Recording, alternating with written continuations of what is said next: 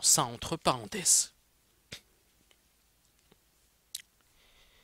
Donc, je vais un petit peu vous écrire ce que j'ai là. Donc, on a dit que si on place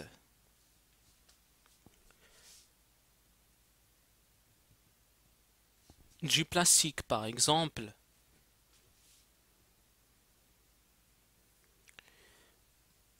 dans une région où règne un champ électrique, E extérieur qu'on va appeler E0, qu'on va euh, bon, ça c'est E extérieur qu'on va appeler E0. Donc E, EXT qu'on va appeler E0. Donc ça, on a dit que c'est notre plastique ou notre carton ou ce que vous voulez. Bien sûr, il est, bien, il est plein à l'intérieur. Tac. Il faut savoir que ce champ, il est défini en tout point de l'espace, plus particulièrement à l'intérieur de notre de notre quoi De notre ben, de notre bon, on zoome un peu dans notre diélectrique. Et qu'est-ce qu'on va remarquer? On va remarquer que à cause Bon, déjà ici, quand on zoome avant, en ignorant le champ 0, on va imaginer que le champ 0 n'existe pas. Il faut savoir que ici plus, et ce nuage électronique, il est très très lié à ce noyau. Donc ça, c'est pour ce qui concerne un certain conducteur. Donc il faut savoir que les électrons ici, les électrons sont très liés au noyau.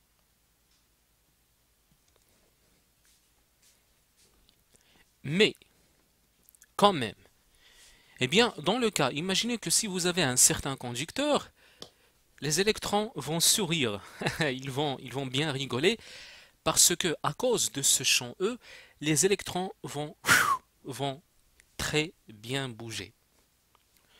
C'est pour cette raison que dans le cas d'un conducteur, si vous appliquez un certain champ E ici, vous avez par exemple ici un bon, vous avez plus et ici moins. À cause, à cause et à cause en effet de ce champ E, cet électron, il va subir une certaine force qui est égale à moins la charge de l'électron qui est moins E, ou plutôt la charge de l'électron qui est égale à moins E, E. De ce fait, à cause de ce champ E qui est dirigé de cette façon, la charge moins, elle va faire comme ça. Et on va avoir ici moins, moins, moins, moins, moins, ta ta ta ta ta ta ta ta ta ta plus, plus, plus, plus, plus, plus, plus, ta ta ta ta ta ta ta. Donc, on va avoir des charges en surface.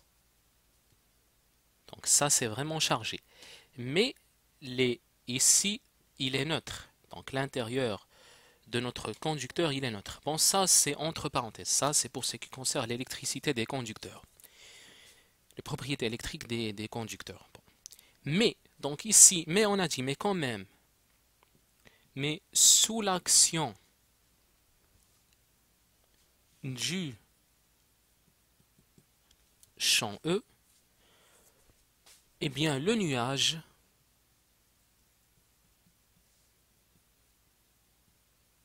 le nuage électronique bouge un peu. Bon, entre guillemets, un peu. Eh bien, c'est ce un peu que j'ai ajouté qui est d'une pure importance. Parce que c'est ce un peu qui va nous créer ce qu'on appelle un dipôle électrique. C'est ce un peu qui va nous créer ce dipôle électrique. Donc, un peu, créant derrière euh, lui un dipôle électrique. Eh bien, il faut savoir chaque volume dV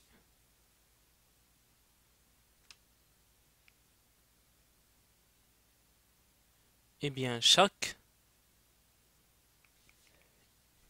volume petit dv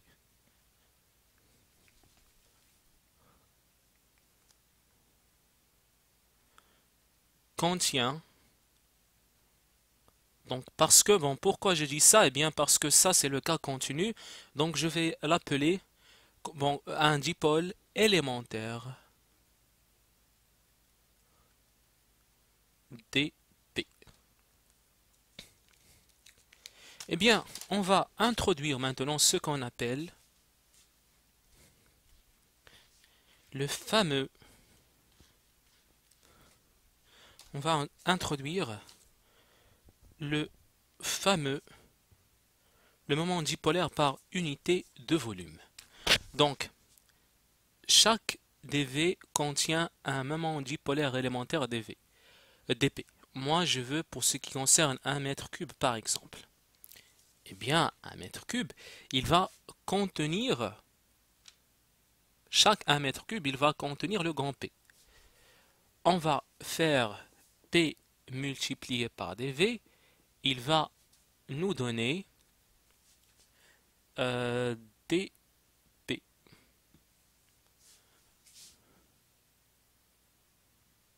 Donc, je vais faire ici 1 sans ce mètre cube ou plutôt avec ce mètre... Bon, parce que ça, ce sont des coulants. Voilà, donc, voilà, donc c'est pas un problème. Parce que de toute façon, je connais que ce dp, ça doit être en coulants multiplié par mètre. Parce que par exemple, P, c'est l'unité, c'est une distance euh, bon, c'est du mètre euh, fois des coulons. Donc ça, ce sont des coulons fois des mètres. Donc euh, si ce dV il est en mètre cube, ça forcément ça doit être en coulons par mètre carré. Donc oubliez cette relation de 3 pour que je puisse sortir d'une grande porte. Et on va dire que P égale à D P sur dV. Donc on appelle ce grand P, c'est tout simplement le moment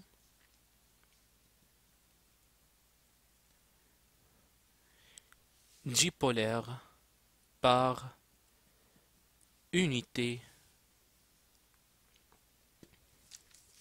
de volume. Bon, il faut savoir que P s'exprime en coulomb fois mètre.